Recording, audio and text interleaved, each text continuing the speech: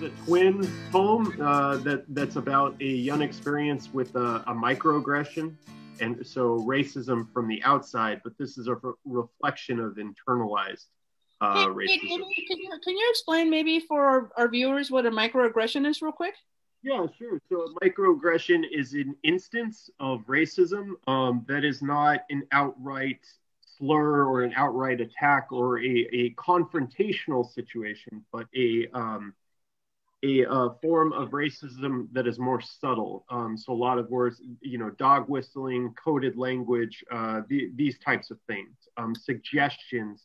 But um, you know, with microaggressions, and this is built into the structure of the poem itself, is that what a microaggression does, like many an insult, is that it makes us feel smaller.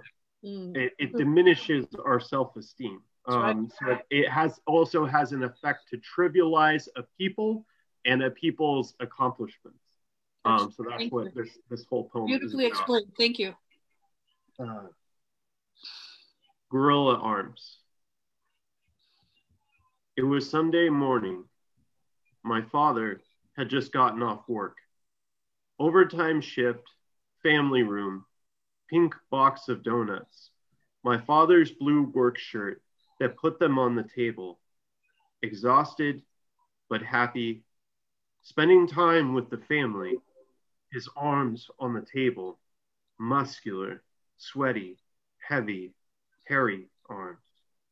A bratty, snotty nosed child, I looked across the table and I told him, You look like a gorilla. It wasn't just the words, it was the cock of the head, the wrinkling of the nose, the arch of the eyebrow. It wasn't just the words, it was the sneer tucked inside of them. You look like a gorilla. Who is this stranger who lived in my house, spent hours tinkering in the garage or lumbering out in the yard, yelled to rake up the leaves, pick up the dog poop, mow the lawn, left before I went to school, left in the middle of the night, oftentimes returned the same. Always wearing that blue or orange uniform, always tired on those days, prone to anger, big, heavy, work boots clonking and clomping throughout the house. Sometimes he was covered in dirt, his hair uncombed and wild, work shirt unbuttoned, chest hair out, hairy arms like gorilla sleeves. Who was this stranger? He was my dad, my father. You look like a gorilla. It wasn't just the words, it was the inflection. It was my reflection. It was the teachers, the guest lecturers, the people on television, the parents of my friends. No one had ever told me that I should want to be like my father, blue collar, work with your hands, muscular, sweaty, heavy, hairy arms. He used them to clean ditches, build pipe systems, to cut down trees, to clear fields and embankments every day for us. You look like a gorilla.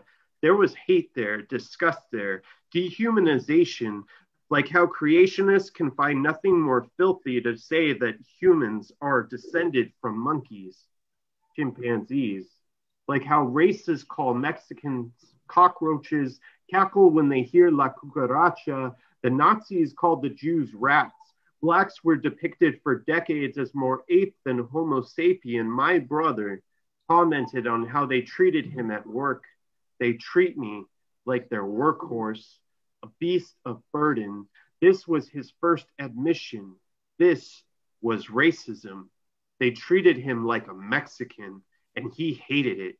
My father was as stubborn as a bull, as strong as an ox, with muscular, sweaty, heavy, hairy arms, gorilla arms, the arms that built our house, the arms that hugged my mother, that carried me as a child. I looked at those arms that Sunday morning and told him, You look like a gorilla. Everything stopped. Everyone was shocked. Soon there was shouting screaming. I ran, crying, out of the house and into the backyard. You look like a gorilla. I will regret saying that for the rest of my life. All right, all right. So that's the Pushcart Prize winning poem, uh, Gorilla Arms. You heard it here first. Oh my Uh, god! I thought it was. Uh, my name is Romero. Oh no, no, no! It is uh, Gorilla Arms from My Name Is Romero. The book. Oh, that actually makes more sense. I love your other poem, but Nine I copies for twenty dollars. yes. DavidARomero.com.